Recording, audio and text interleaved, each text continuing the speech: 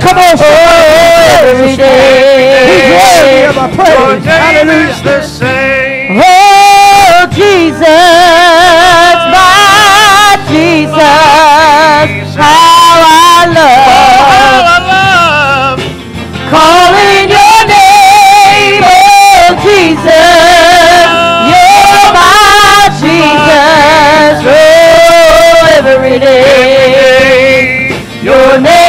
the same. I remember a time when I felt so all alone. But when I needed Jesus, all I had to do was call. I call him in the morning. I call him late at night. But when I get down on my knees, oh Jesus, make it right. Oh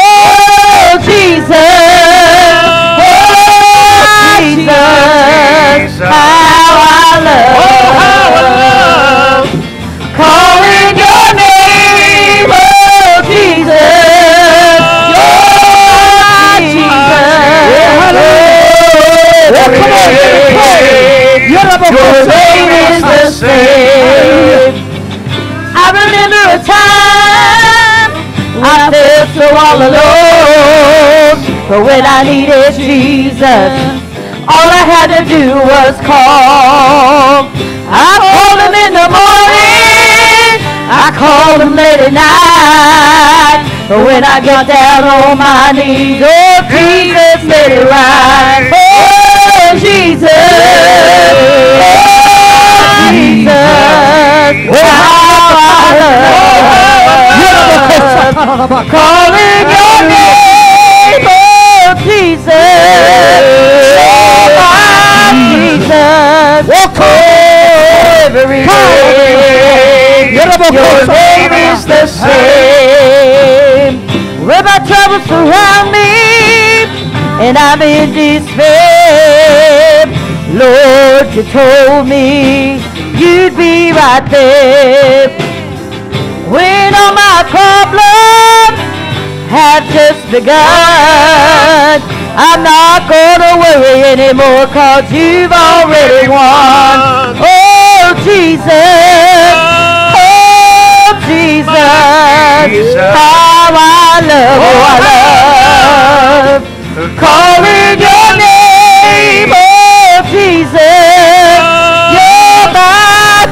Jesus. Every day. Your name is the same. I call on Jesus. Oh, Jesus. Oh, how I love I. Calling your name, oh, Jesus.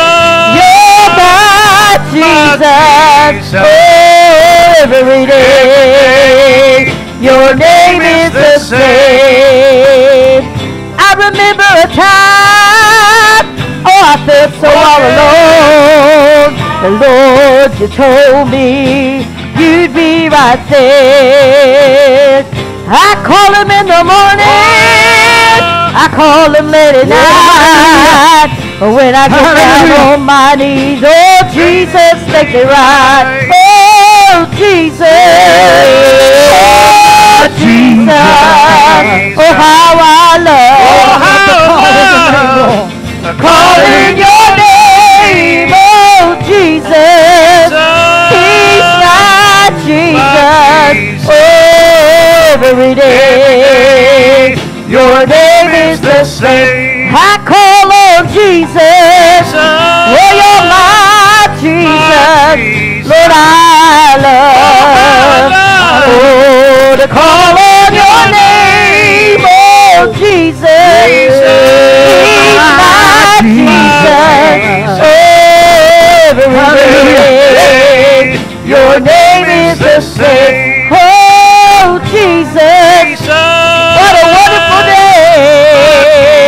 How I love. Oh, how I love to call on your name, oh Jesus. No other name but Jesus. Oh, every day. Your name is the same. Amen. it, uh, I love the Word of God, amen, and how it brings excitement into your life um, and it makes you think. Aren't you glad the way the Bible makes you think? Amen. Um, we need to study the Word of God to show ourselves approved according to the Scriptures. Amen. And it makes us who we are if we follow after Him. Amen. And we was reading in our Bible readings. We're in the book of Amos this past week, and I want to read a verse that uh, got my attention. book of Amos, chapter four, verse seven and eight is what I want to read. Um, this whole chapter talks about uh, um, God trying to get His people back to Him and the things that He did. yeah, I think it's okay. Amos chapter 4, verse 7 and 8. And also I, I have uh, withholden the rain from you.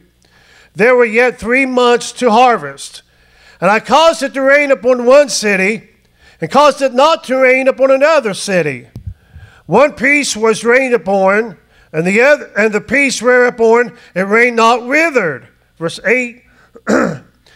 so two or three cities wandered unto one city to drink water, but they were not satisfied. Yet they have not returned unto me, saith the Lord. A lot of times, what I like doing when I read the scriptures, I don't do it all the time, but I do. I do do it a lot. Um, I'll read the King James version. Then on my Bible app, there's different versions, and I'll pick a different version and just listen to it. Because um, I want to get the Word of God in, in any way that I can. So I want to do it with my eyes, reading it. Sometimes I'll read it out loud with my voice, and I want to listen to it.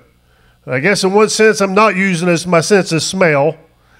Um, naturally, I don't use my sense of smell anyways because I can't smell, and not because of COVID. I couldn't smell before COVID. It just uh, I've had a couple different sinus surgeries. Sometimes it opens up, sometimes it doesn't, but sometimes it's a blessing. Amen. We got a, a few shoppers in Kroger. Everybody say they s- smell. Well, I can't smell them, so I don't know if they do or not. They look like they smell, but Amen. I'm sure you have them at Walmart too, don't you? Amen. And uh, so I like like to get the Word of God any way that I can with my eyes, talking out loud, um, listening uh, to it. So I, I listened to another version of it, and it's really what got me in Amos chapter 4, verse 7 and 8. And it's the MSG version. If you got a Bible app, you can go to the MSG version. But it says this Yes, I am one that stopped the rains three months short of harvest. I'd make it rain in one village, but not another. I'd make it rain in one field, but not another. And that would dry up. People would stagger from village to vi- village, crazed for water, never quenching their thirst. But you never got thirsty for me. You ignored me. When I read that, you never got thirsty for me, something hit me inside. Amen. You never got thirsty for me. And I began to pray, God, make me thirsty for you. God, make me thirsty for you. Amen. I, I don't want to lose my thirst for God. In a dry and thirsty land, I want to be thirsty for God. And I thought of the song I told Becky. I said, Becky, get ready to help me sing this this morning. Amen. But I thought of the song that says, I am tired and thirsty, O Lord. Send the rain. Go ahead, Becky, I'll follow you. I am dying. Help us now this morning. O Lord. Send your rain. Send your rain. Lord, I need Oh, yes, I your do. touch again. Send the rain. Send the rain. Oh, Let it rain. Oh, let oh, it be your prayer this morning, God. Let it. But you never got thirsty for me. You go from city to city, from village to village, thirsty for water, never quenching your thirst. streams streams of But you never got thirsty for me. until I Oh, make me no thirsty, more. Jesus. Lord, I need your cleansing power. Send the rain. Oh, send the rain. Thirsty. Oh, yes. Send the rain. Oh, oh send the rain. Oh, Let it rain. Let it oh, fall. Oh, yes, Jesus. Let it rain upon my soul. This morning, God, make us thirsty for you. Don't like it. This be like the Israelites that wandered from place to place looking for something to drink, Lord, but they never got thirsty for you. Until I thirst no more. in this dry and weary land, in this dry and weary land, send your rain. Oh, oh, send your rain. Lord, we need your touch again. Send the rain. Oh, send the rain. Sing it now. Oh, Let it rain. Let it pour from heaven. Let it rain to revive my soul. Let it rain. I need your streams of refreshing refreshing until I. Oh, one more verse now.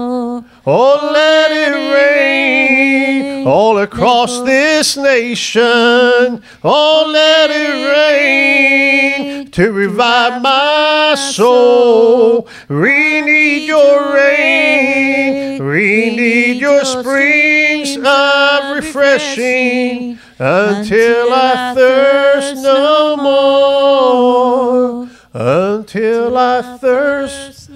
Oh, yes, Jesus. I want you to understand something this morning. In this world, there is no water like the water that God has. We think sometimes when we need a spiritual refreshing, we try to get it in a natural world where there is no water that God can give you in this natural world. We, we can look through all different religions, but there's only one religion that's the true worship of God. God Jehovah, God Jesus. Amen. He's the only one that can give us any kind of water. Amen. There are uh, empty, man made faucets that will offer you peace, but there is no peace in this world. Amen. Only God, Creator Himself, can give you the peace that passes all understanding. We can look for love, human love. Amen. We can look at learning. Amen. Pleasures in this life. Amen. We'll try to look for wealth and popularity and all these other things. They seem to have a try to get a inner satisfaction, but they're nothing but a mirage. Amen. In a dry and thirsty place, we see something that looks real, but it's not real. They are clouds without rain, the scripture says. And at the end, amen, when we're looking, our soul is still empty. Amen. God, make me thirsty for you. Jeremiah chapter 2, verse 13 says this My people have committed two evils. They have forsaken the fountain of living waters and have hewed themselves out of cisterns, broken cisterns that can hold no water. He said they've, they've done two things. Amen. They've forsaken the true living water and tried to make themselves cisterns, man made cisterns. They say cisterns is a shallow collection tank. Amen. It's not a fresh water. Amen. It's not a running water. Amen. It's a cistern that's a lot of times gets its water from uh, rainwater. Amen. It's dependent on the rainfall. Amen. And it can't refill itself. And usually it's dirty water. It collects bugs and frogs and parasites. Amen. And other trash. And the water is stagnant. Many knows that's what the world has to offer? A stagnant water. They went searching from village to village, city to city, but their thirst was not quenched. But he said, You were not thirsty for me. Well, Jesus is the living water that they forsaken. Amen. I, I read, amen, about artesian well. Amen. Artesian well, amen, is a flowing well. It's moving. It's a clean water. It's filtered water. It's pure water. It's self supporting water. Amen. You don't have to pump it. Amen. You it don't need to fill it. Amen. It doesn't need any rainfall, but it takes care of itself. Amen. That's the living water of God. We have cisterns, amen, that we try to go to and drink and get relief. Uh, We have man made cisterns. We try to go, amen. Perhaps some people go to the food, try to find that. They, they go to TV, amen, try to find that water or counseling. They may even go to different religious groups. Amen. They may go to painkillers or, or stress reducers. Amen. They may get, go to different people. Amen. They may read a book. They may go shopping. They may go yard selling. Amen. Something to try to find that. Amen. Different diversions of all kinds to try to find that drink. Amen. Go from village to village, from city to city, but still not quenching that thirst. Amen. But after drinking of the fresh water, Amen. The clean artesian water. Who wants to desire a water? Amen. That's filthy, that's scummy. They from a cistern water. Amen. We need a fountain. Look your neighbors. I need a fountain of water. Amen. That's always moving. Amen. In this world, we search for things to try to satisfy, amen, our soul, amen, and try to satisfy that inner man, amen, that we try to look for. We straggle, straggle from place to place. We search everywhere for it, amen. But the Bible says only Jesus is that thirst quencher. Amen. We sing the song, if you've got pain, He's a pain taker. If you feel lost, he's a way maker. Maybe we need to add, if you feel thirsty, he's a thirst quencher. Amen. Jesus is that thirst quencher. Amen. Only Jesus can give that quench that thirst. Amen. That he placed inside of you. Psalms chapter 42, 1 and 2 says this. And as the heart panteth after the water brooks, so my soul panteth after thee, O Lord God. My, thirst, my soul thirsteth for thee, God, for the living God. When shall I come and appear before God? Amen. Where, where there is water, there is life. Amen. Where there's water, things begin to grow. Where there's water, plants begin to sprout and flowers begin to bloom. Amen. But where there is no water, there's death. There's no life.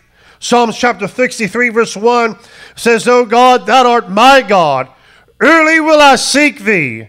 My soul thirsteth for thee. My flesh longeth for thee in a dry and thirsty land where there is no water. We live in a nation where there is no water. People try to go for different things. If we can ever see the story of Amos, we see it now in the United States where people are searching all over the place, going from place to place, looking to quench that thirst, but they could not find it. But they did not get thirsty for God.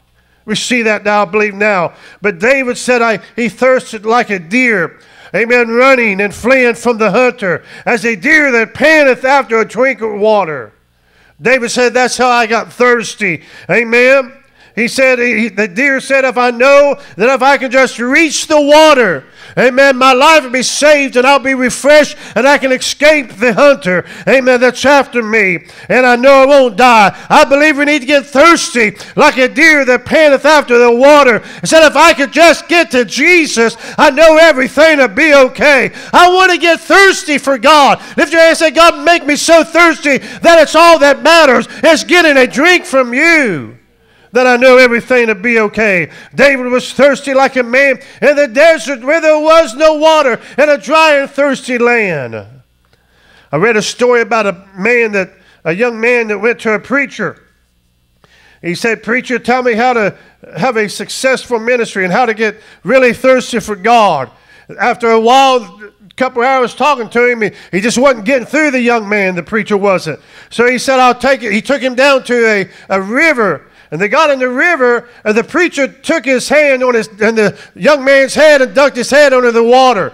He said the young boy was, boy was fighting and doing everything he can try to get up, but he kept holding him down. Finally, the preacher let him up. He said, What did you desire more than anything while you was there? He said, Air. I wanted air. I needed air. He said, Well, when you get that thirsty for God, then that's all you think about and that's all you want, then you'll find God. Then you'll reach heaven. Amen. And God will make a way where there seemeth to be no way. If I could get thirsty for God, amen, like nothing else matters, amen, and fall in love with Him and get thirsty for Him. For the Israelites in the book of Amos, they searched all over, but they did not get thirsty for God. We need to get thirsty like a drowning man looking for air. Jesus said in Matthew chapter 5 verse 6, "Blessed are they that hunger and thirst after righteousness, for they shall be filled." Everybody's thirsty for everything else except for right living.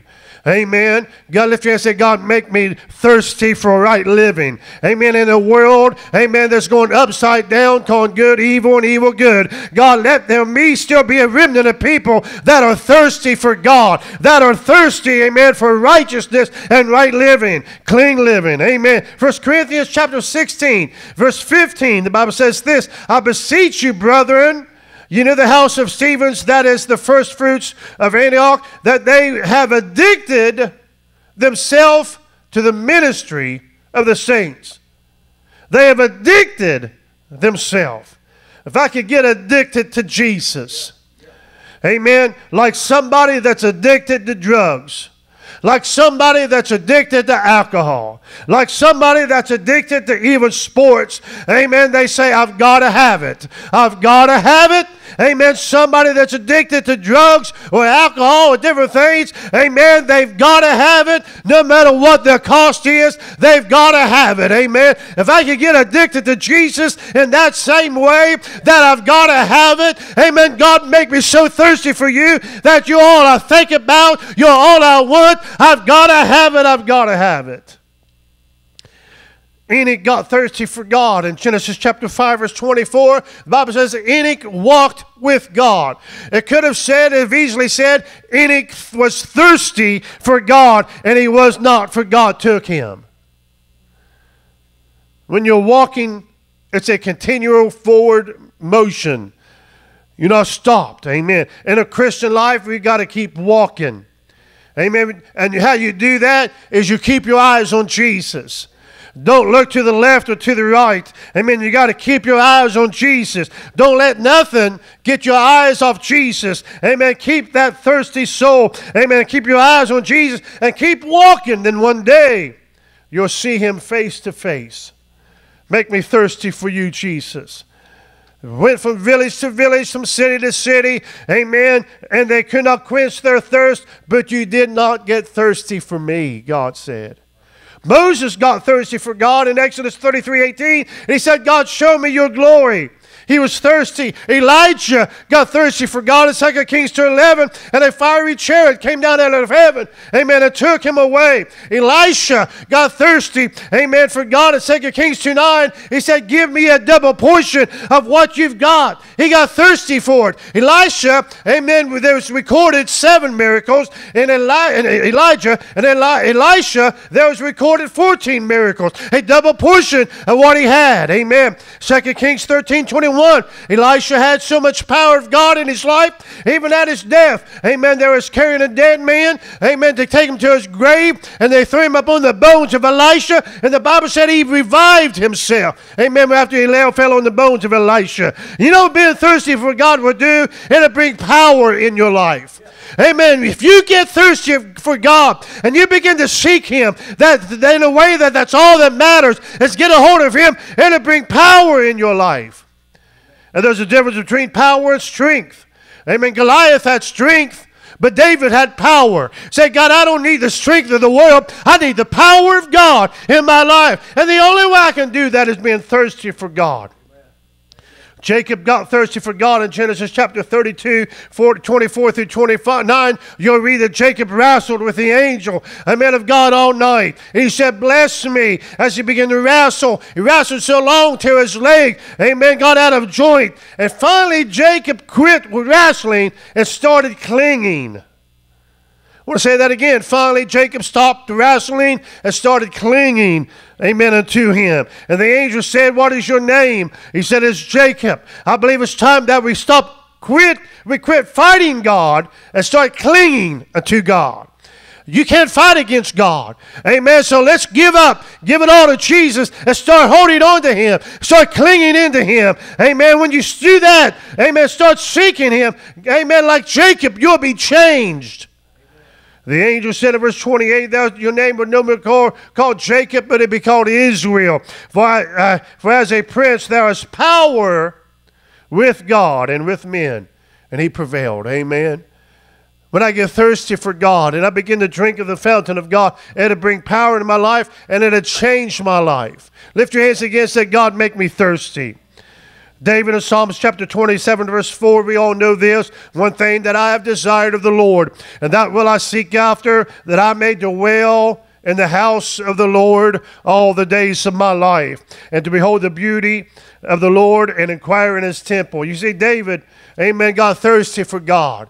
He said, The only thing that I desire is to dwell in your temple, is to dwell with you, to be with you, God. That's what my greatest desire is. Amen. One thing that I've desired. Amen. If we get to a place in our life that only one thing really matters, and that's getting a hold of Jesus. Like the woman, amen, with the issue of blood. Amen. I love this story. She wasted all that she had, and all the physicians had the disease of blood disease or the issue for 12 long years, spent all that she had. But then she heard about Jesus.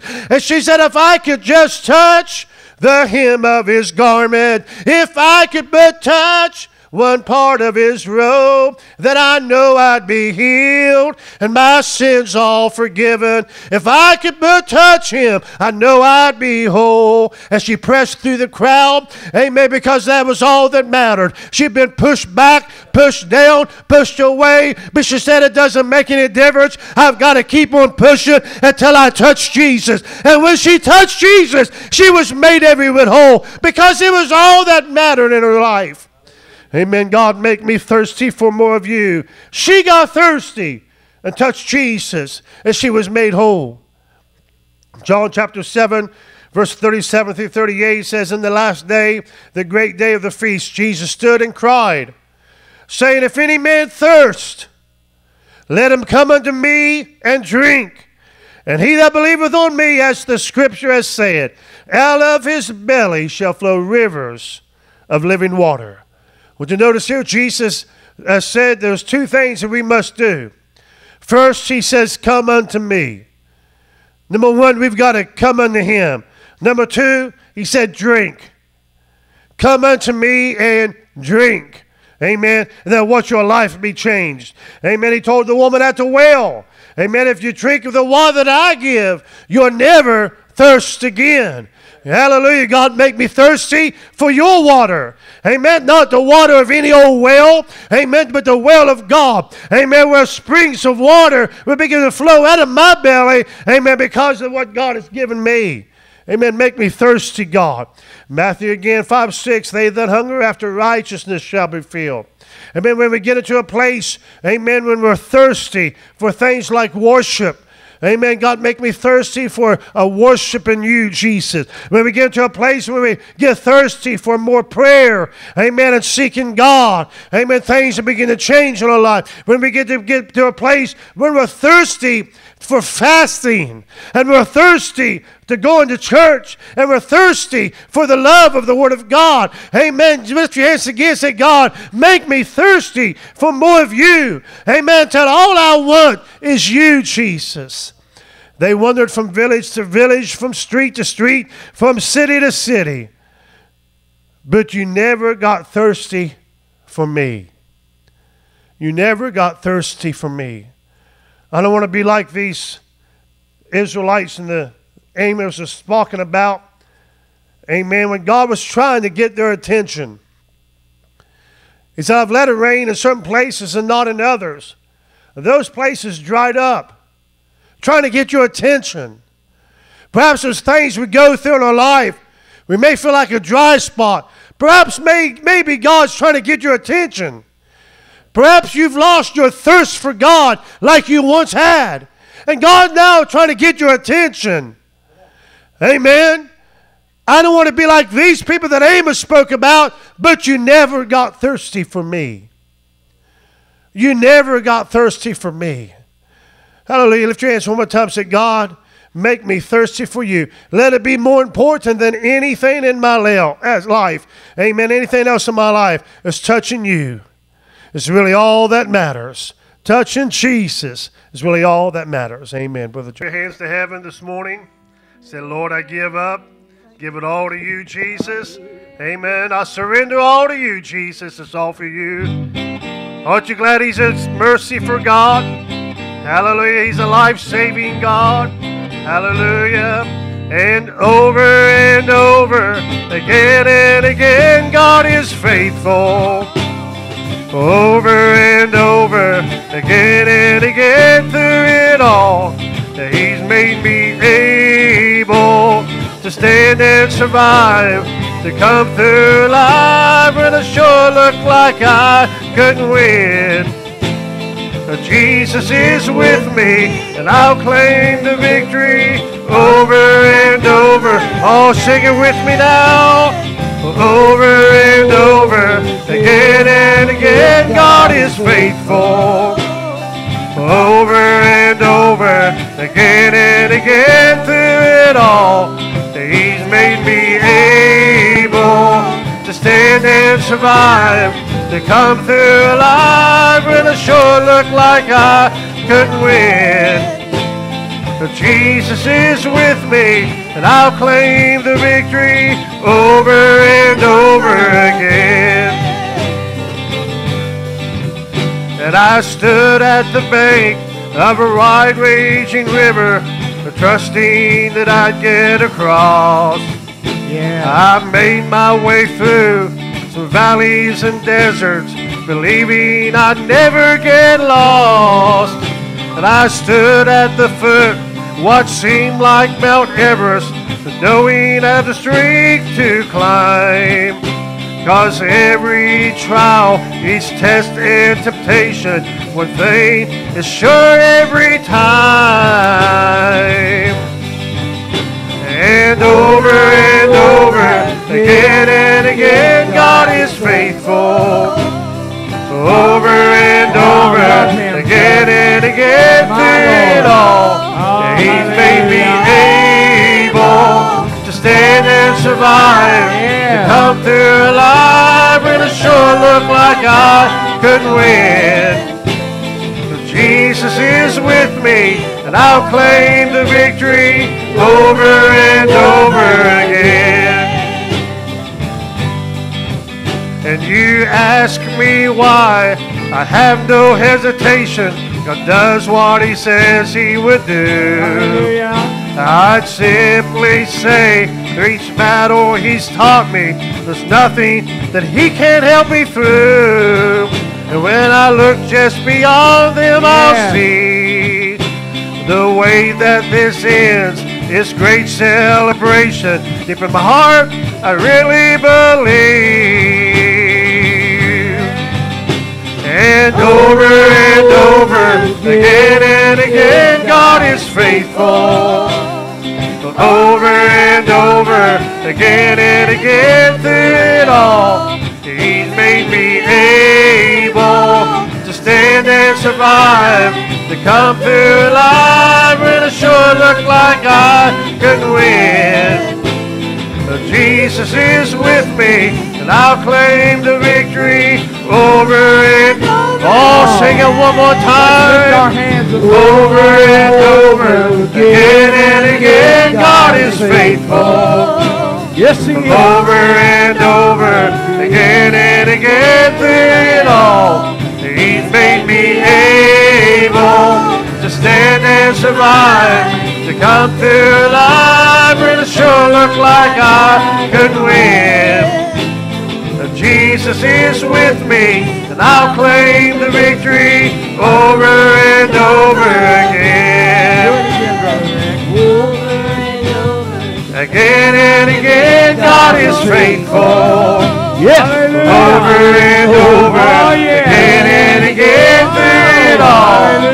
He's Oh, he's faithful. Yes, he is. able to Hallelujah. stand and survive, to come through alive when it sure looked like I could win. If Jesus is with me, I'll claim the victory over and over again. And you ask me why, I have no hesitation. God does what he says he will do. I'd simply say, through each battle he's taught me, there's nothing that he can help me through. And when I look just beyond them, I'll see the way that this ends is great celebration. Deep in my heart, I really believe. And over and over, again and again, God is faithful. Over and over, again and again, through it all, He's made me able to stand and survive, to come through alive it sure looked like I couldn't win. But Jesus is with me, and I'll claim the victory over and over again.